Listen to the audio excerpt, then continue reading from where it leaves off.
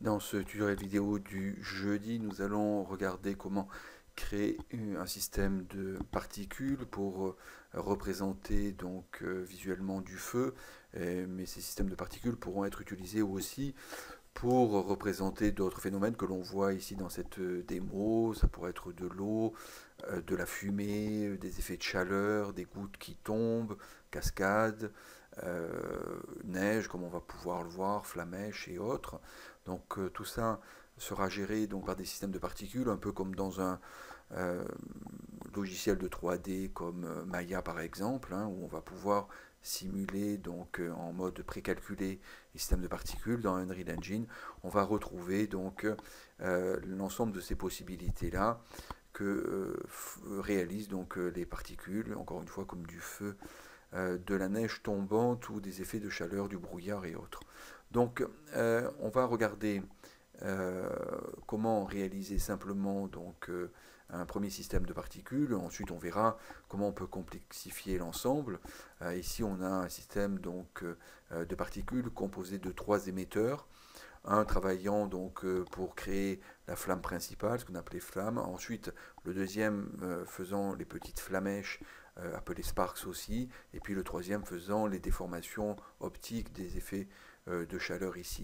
Donc on va regarder le premier système euh, de flamme, comment on peut créer donc un premier euh, système de particules, ici dans le moteur de rendu Unreal Engine. Alors pour ça c'est le, système, une fois placé dans le level, dans la scène, ça donne ça, voilà ici.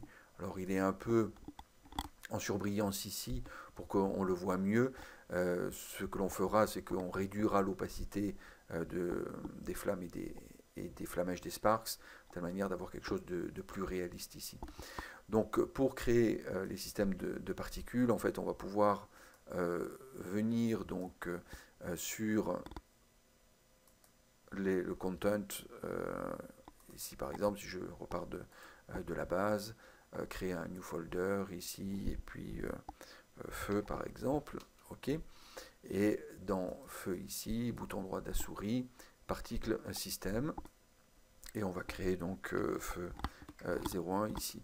Ok, donc système de particules, on double-clique euh, dessus et on va avoir donc au départ dans le système de particules ici, on va avoir donc une émission d'éléments. on va zoomer dessus. Donc il une texture de base qui représente donc les coordonnées x, y, z ici déformées euh, par un élément. C'est euh, ici donc euh, le défaut particle qui est mis en place et le, shader ici le matériel défaut particle qui est mis en place et que l'on voit donc se développer. Alors par défaut, les particules sont émises pour se déplacer vers l'axe Z, vers le haut, comme si on voulait bien entendu réaliser tout le temps donc des flammes. Bon, c'est un peu les systèmes de particules de base hein, ici et ça va nous servir. Donc on va conserver un peu cette direction, je dirais, euh, d'émission ici. Alors par défaut, ce que l'on a, donc on vient de, le voir, euh, c'est cet émetteur qui est euh, créé ici. dans le système, on voit qu'on n'a qu'un seul émetteur par rapport à ce que on voyait donc dans notre système terminé où on a trois émetteurs. Donc l'ensemble des émetteurs forment ce qu'on appelle un système donc, euh, de, particules et chaque émetteur, lui, euh, est composé d'un ensemble de modules. Donc euh, les modules par défaut, quand on crée un système de particules, apparaissent ici, donc required, spawn, lifetime et ainsi de suite jusqu'à color over life. Donc ces éléments sont pas strictement, ces modules ne sont pas strictement obligatoires selon le système de particules que l'on veut utiliser et on pourra euh, très bien en supprimer, donc notamment color of life qu'on va supprimer pour euh, initial color pour le remplacer par exemple euh, et, ainsi de suite. On pourra remplacer soit enlever ces premiers éléments, mais ces premiers éléments sont placés pour nous aider bien entendu à commencer à construire donc un système de particules. Donc euh, le, système de particules de type flamme ou euh, d'autres types, euh, que ce soit fumée ou autre, ou même neige, sont des systèmes comme dans les moteurs comme Maya de simulation de, particules qui fonctionne sur deux niveaux. On va avoir le premier niveau de simulation et ensuite on va avoir donc le deuxième niveau de rendu. Et ces deux niveaux donc, euh, de, euh, de phase de travail, je dirais, de réalisation du système de particules, s'imbriquent sur la fin. Ça veut dire que selon la simulation que l'on aura fait, on aura donc un certain type rendu de particules. Euh, ça veut dire que par exemple, selon la vitesse par exemple des particules, eh bien on aura une taille et une opacité euh, différentes de ces particules pour représenter un certain type de feu euh, rapide, lent, épais et ainsi de suite. Donc en fait dans un premier temps on va éventuellement gérer donc la simulation. Alors, ce sera des paramètres donc euh, d'initial size, euh, d'initial velocity, de, euh, direction d'émission de, des, particules. Et ensuite, on viendra donc gérer le rendu des particules. Et ça, ça va se lister ici sur l'ensemble des modules que l'on peut créer au fur et à mesure. Ensuite, on pourra les mélanger, bien entendu, mais il faut essayer de conserver donc ces deux phases de, création ici. Donc, on va faire bouton droit de la souris ici, et on voit que sur l'émetteur euh, dans les parties vides, et on voit qu'on a toute une série ici de modules que l'on peut rajouter, qui sont soit de la simulation, soit euh, de, euh, du rendu 3D, donc du shader du matériel, et du, et du rendu 3D, de l'impression que rendu en temps réel que l'on va avoir donc sur le level, comme on peut le voir ici, donc sur notre, dans notre scène. Ok. Euh, donc, euh, on va euh, d'une part travailler donc sur la simulation. Alors, pour changer, pour donner l'impression que l'on a quand même des flammes ici, on va changer le, matériel.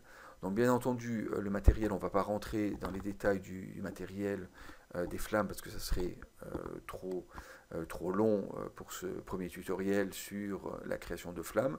Mais ce qu'il faut savoir, c'est que le matériel, comme on va le voir ici, on va sélectionner un matériel et dépendant donc euh, de, et réciproquement, euh, et euh, dépendant donc de, de la simulation donc de l'émetteur. Alors l'émetteur, je ne l'ai pas dit, s'appelle Cascade, ici dans Unreal Engine, hein, c'est l'émetteur Cascade qui permet de créer donc des systèmes de particules.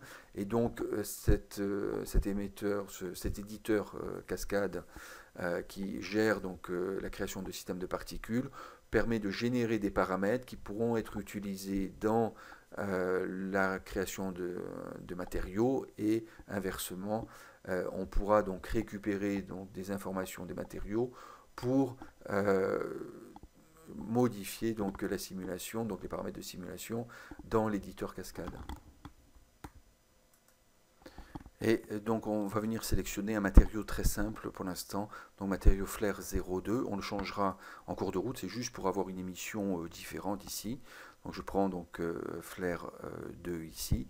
Ce matériau, on le voit ici, est constitué principalement d'une modification donc de l'opacité. Alors en termes de matériaux, pour en dire deux mots, ce matériau utilisé pour les flammes, c'est des matériaux donc assez classiques, sauf au niveau donc de leur fonctionnement de départ, dans le sens où on ne va pas avoir euh, de euh, base color métallique spécular. Donc euh, le PBR ici ne, fonctionne pas pour, enfin a été dé, enfin désinstallé, éteint ici et il ne reste plus que l'émissif color et l'opacité. Pour la simple raison qu'on va utiliser donc dans les paramètres de matériel, matériel domaine donc surface ici, le blend mode c'est additive. Alors on va euh, avoir deux possibilités principales pour les systèmes de particules, soit translucence, soit additive principalement. Translucence plutôt pour euh, des effets donc euh, de d'accumulation d'éléments comme un peu de la fumée qui vont pouvoir s'accumuler dans, l'épaisseur et additive ici pour additionner donc les, effets d'émissif color euh, qui vont, euh, dans les flammes, venir s'accumuler aussi et donner une brillance plus importante selon l'épaisseur des flammes. On va euh, choisir le matériau, surtout ici Shading Model Unlit. C'est ce qui permet donc de désactiver les bases color et autres. Par défaut, on est en défaut lit. Et donc à ce moment-là, on a base color et en mode donc opaque ou masque ici. On a métallique spécular et ainsi de suite qui s'active. Donc avec le blend mode donc additive, on enlève métallique spécular roughness et avec le mode unlit, euh, on passe en mode seulement émissive, opacité, et puis on a world position offset et réfraction, les réfractions qu'on va utiliser justement pour les effets de chaleur. Euh, il reste donc émissive color et opacité, un lit voulant dire principalement que euh, ce shader n'est pas touché par les lumières ambiantes, ça veut dire qu'on n'aura pas donc d'interaction, donc tant au niveau de la lumière qu'au niveau des ombres sur ce shader là, et que ce sera un shader qui fonctionnera de manière interne, donc effectivement par son émissif color, son, opacité, et puis les deux autres paramètres euh, qui restent ici.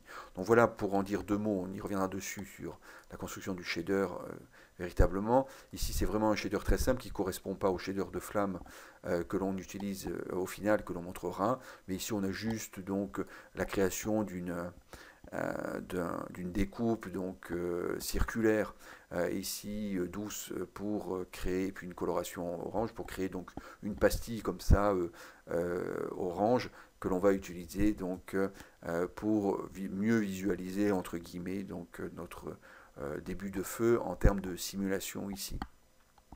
Donc ça nous permet de, voir se jouer la simulation, de pouvoir jouer sur le rate, sur le nombre de, particules. Bien entendu, à un moment donné, il faudra mettre euh, le bon shader en place parce qu'il va, comme je le disais, euh, faire retravailler donc euh, les paramètres de simulation et il faudra à ce moment-là, bien entendu, les, y revenir dessus.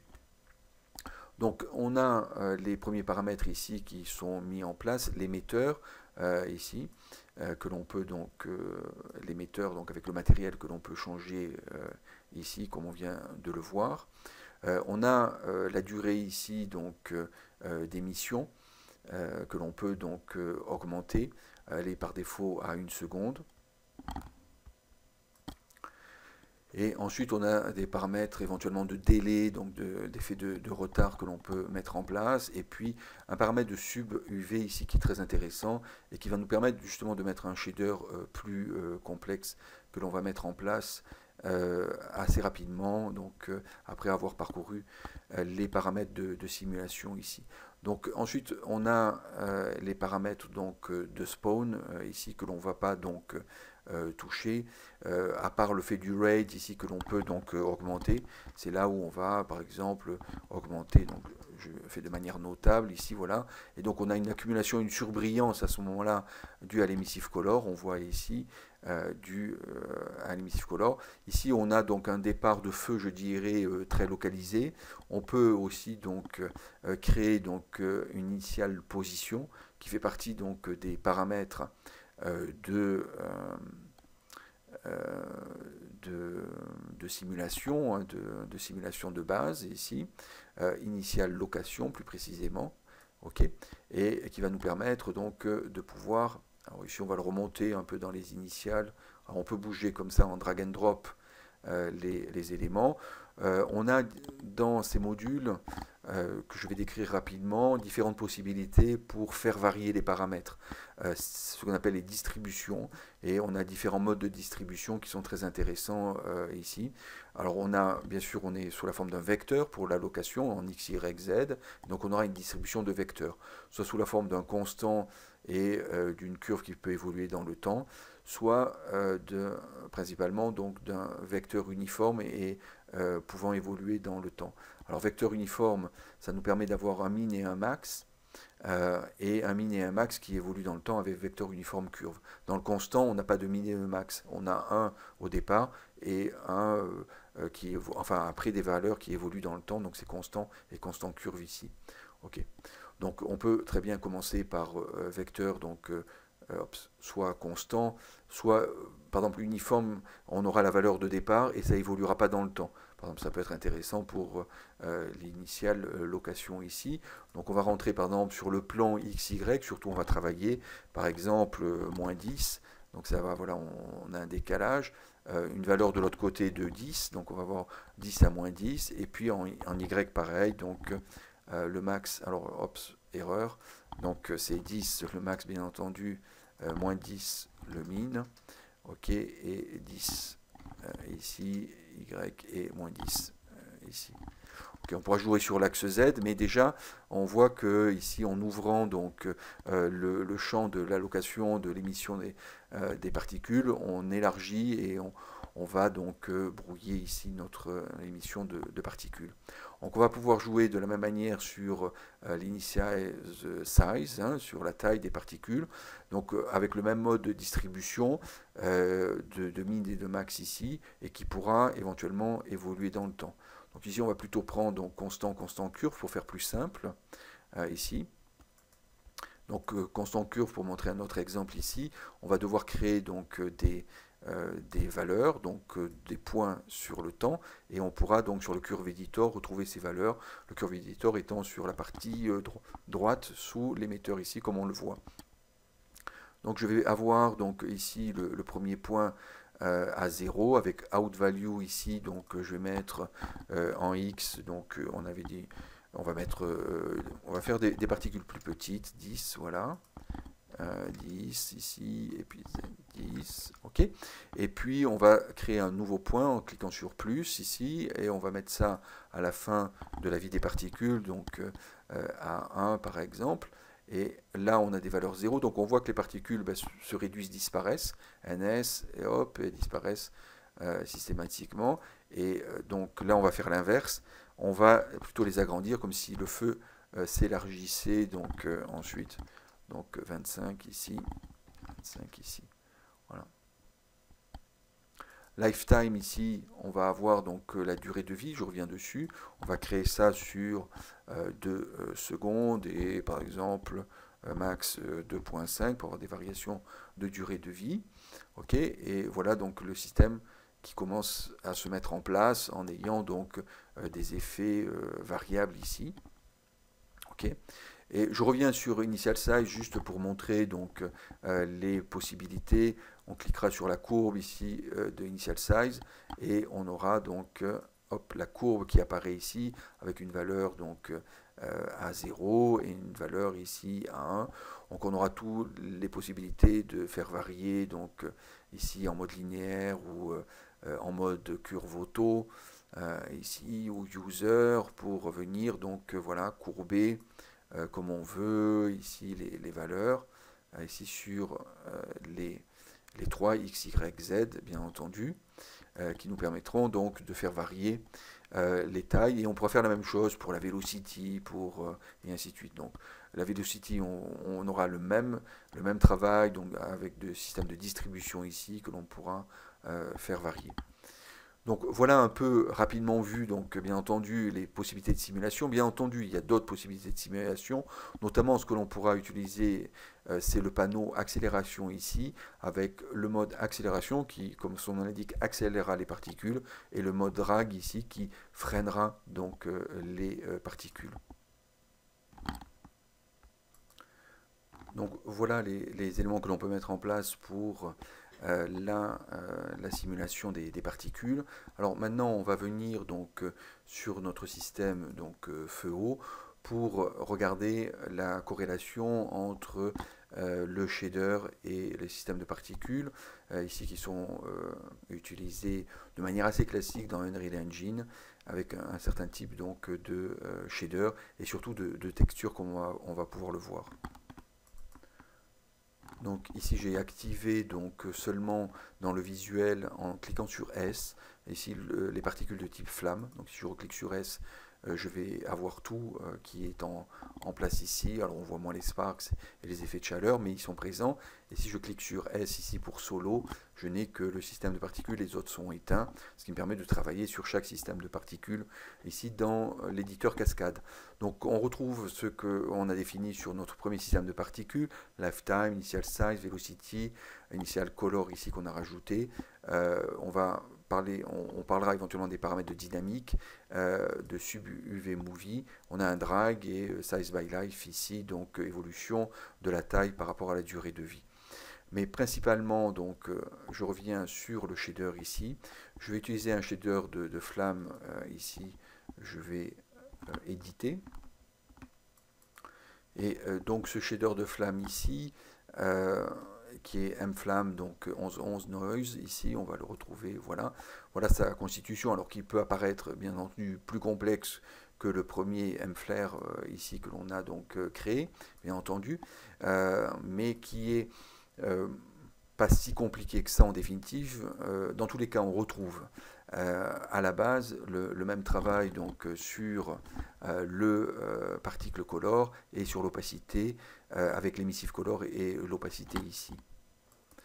Donc on va retrouver l'émissif color et l'opacité ici, et puis on va avoir un node de, particle color ici, qu'il faut appeler donc en faisant bouton dans la souris ici, particle color, le node, hein, comme on le fait dans l'éditeur de matériaux en général, et on va donc utiliser le canal euh, RGB, donc le, ici l'input data particle collant, pour le multiplier par rapport à un travail que l'on a fait, donc que l'on va voir sur euh, les, euh, la, coloration, et la même chose donc sur le canal alpha ici, multiply, pour connecter sur l'opacité. Donc ça c'est la base donc de, la création d'un shader pour les particules à utiliser. Après ce qui suit derrière, donc c'est une, certaine complexité pour obtenir des variations tant au niveau de l'opacité par rapport à des paramètres euh, qui seront euh, ici les dynamiques paramètres qui seront programmés donc euh, et utilisables dans la dynamique, donc ça veut dire dans la simulation des particules,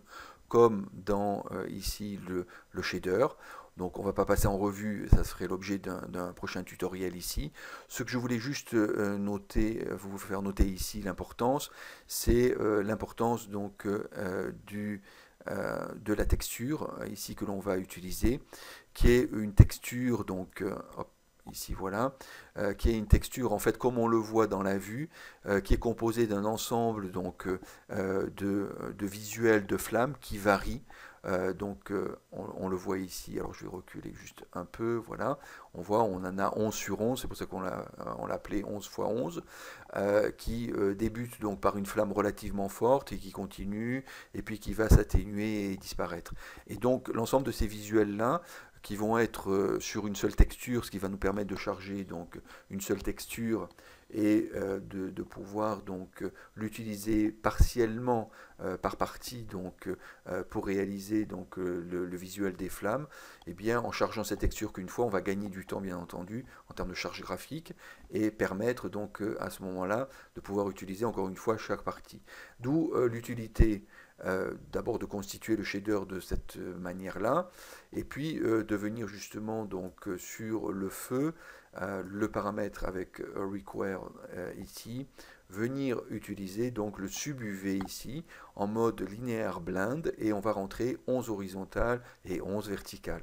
Ce qui va permettre donc euh, de pouvoir venir choisir le l'image donc des flammes, par exemple la première en haut à gauche, là 1-1, et puis là 1-2, puis là 1-3, et ainsi de suite, euh, venir chaque fois les, piocher. Alors ça, on peut le faire euh, au départ, et euh, le, chaque particule conserve le même visuel, soit le visuel peut évoluer dans le temps, c'est-à-dire qu'on va passer du visuel 1 au visuel 2, et ainsi de suite, jusqu'au dernier visuel, donc 121, qui sera un visuel donc plus sombre.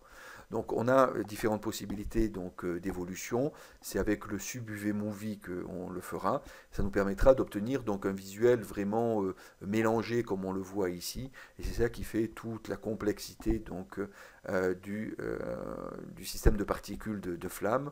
On a donc d'une part, comme on l'a vu, donc la gestion de, de, la cinématique et on a maintenant la gestion donc du shader et du texturing que l'on va combiner donc euh, avec euh, la simulation euh, la simulation que l'on a réalisée avec size, velocity, color et ainsi de suite, et drag par exemple. Donc voilà un peu comment on réalise donc un, un, système de particules, à savoir que ce que je n'ai pas précisé, mais c'était par défaut, le système de particules, il peut y en avoir plusieurs bien entendu. Le système de particules par défaut, c'est le type sprite, donc ça veut dire c'est un, carré ou un rectangle sur lequel on va justement coller, donc euh, plaquer euh, un shader et donc une texture découpée. Euh, comme on l'a fait donc avec le flair 2 ici, où on avait donc une pastille et chaque donc élément de feu donc ici que je retrouve. chaque ici élément supportait donc ce, ce visuel-là et c'était donc sous la forme d'un carré rectangle, d'un rectangle que l'on ne voit plus pour la simple raison que euh, eh bien, on a une découpe alpha qui permet de ne voir que le visuel arrondi ici. Et donc, bien sûr, ce travail se poursuit ici avec, euh, euh, en mode sprite ici, avec des flammes plus complexes, mais donc on a des particules de type sprite. Et on pourra éventuellement, si on le veut, changer donc de système de particules, particules type data pardon ici. On va avoir d'autres types data. On va avoir des GPU sprite qui vont travailler donc sur la carte graphique, qui auront leurs propres particularités. On va avoir par exemple des, des mesh data ici qui vont donc faire intervenir euh, des, euh, des, particules de type mesh, ce qu'on appelle des instances. Donc on va avoir un modèle polygonal de base qui va se dupliquer donc euh, avec les particules pour faire de la gestion de foule, par exemple, j'en sais rien, un essaim d'abeilles, un vol d'oiseaux, des choses comme ça. Donc on aura ici le mesh data pour le réaliser. Donc voilà un peu une première approche sur les systèmes de particules ici. Euh, dans Unreal Engine que l'on va pouvoir mettre en place pour créer différents visuels atmosphériques ou euh, de, de, flammes, de, euh, de, brume, de, neige et autres que l'on pourra mettre en, en, temps réel comme on le voit ici donc dans notre level.